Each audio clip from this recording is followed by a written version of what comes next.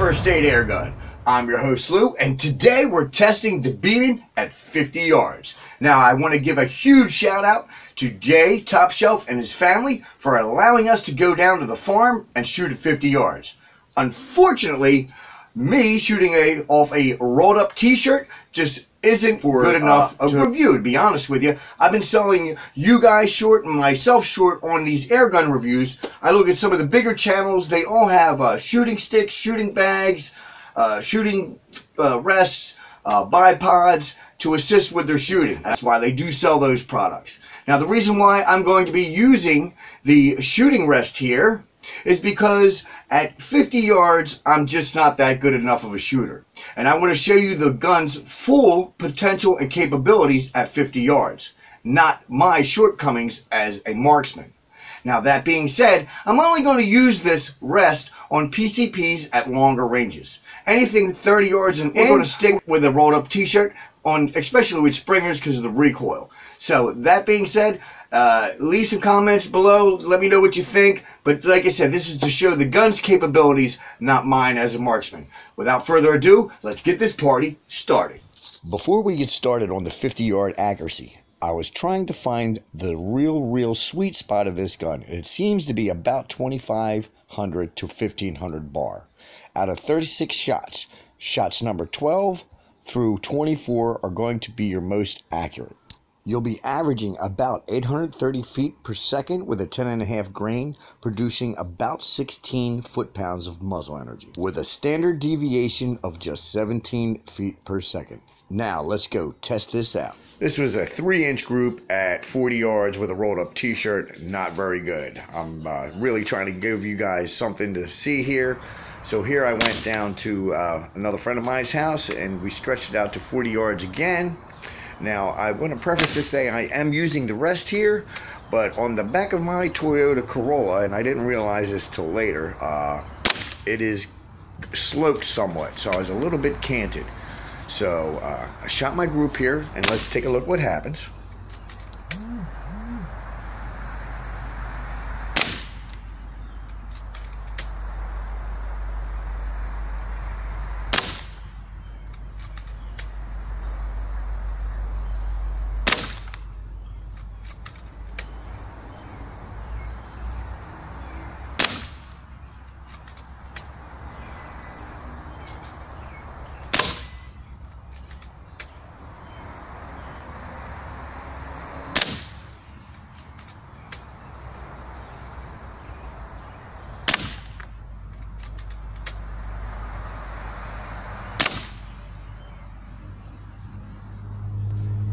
Definitely saw an improvement over the rolled up t-shirt uh, same distance 12 shot group.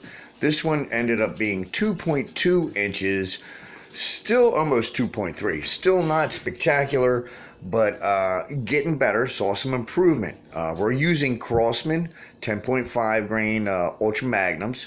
Got two bottle caps. So like i said still not that great as you can see by the change in shirt, uh, it's been a couple days I've been making this video over the last week trying to uh, get this right for you guys.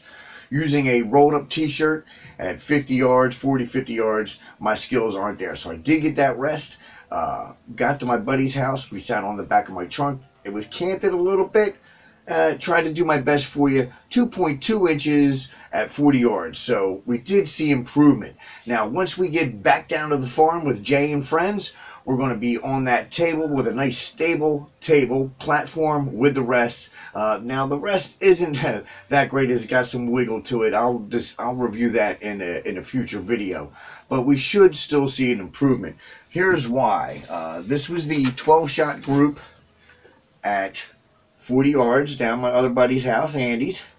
Uh, like I said, uh, 2.2. You've got a fairly good group. That's not too bad for me, but I want to get to 1.5 inches. So, uh, of course, off camera, I had one flyer. I had one, two, three, four, five right here at about 1.5 inches. Uh, but not having it on camera, that was at 40 yards. Not having it on camera doesn't mean jack shit, I know. Uh, now, this is ridiculous. Um, it was about 2 a.m. I have a light by my back fence there. I did some stealth shots. Did five of them at one point, uh, four inches, but four of them were at 0.33. I'm not lying to you folks. It, it was what I shot. I'm not selling you anything. I'm not promoting anything. I don't get paid by anybody for any of this. So I have no reason to lie. Uh, now I'm going to show you a group that I just shot out of my uh, second story window uh, at about 65, 66 yards. This was a six shot group. I had one major flyer here, and then I had one, two, three, four, and of course five down here. Three of them covered up by a dime at 66 yards. And the, uh, like I said, that's at an angle. Um, but once we get down to the farm and we uh, have a stable platform to shoot off of, 40, 50 yards, we're going to give it a go. Now, we were just using regular old Walmart 10.5 grain Crosman uh, Ultra Magnum pellets. So once we uh, get into some RWS uh, H&N and of course JSB pellets, we're going to see if we can get some really good performance. But for me, to have a group that size, and I'll show you the pictures here in a minute, uh, at 66 yards is great uh, value for, now this gun is listed, I've seen as low as $280. So a good value in my Story opinion. window, stealth shots. We're going to be putting the target out there, and I'm going to be shooting from the second story window. I'm only going to get five shots because of my somewhat urban environment and neighbors. Target. To be shooting out of that second story window. It's about 66 yards, roughly. It's to be a minute before I get up here. I knew this first shot right here was a flyer because it was high. I knew it was hitting low. So uh, I only got these uh, five more shots, that's six shots altogether, on film. Uh, wasn't able to film in the bedroom. I thought I hit the record button and I did not.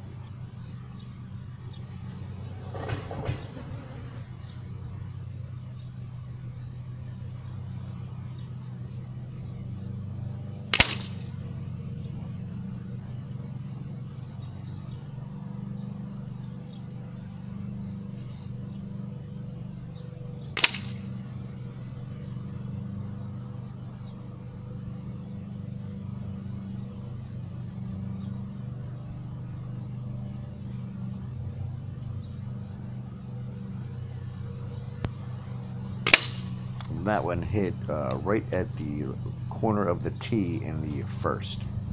Hard to see. And this last one hits right above the uh, tape.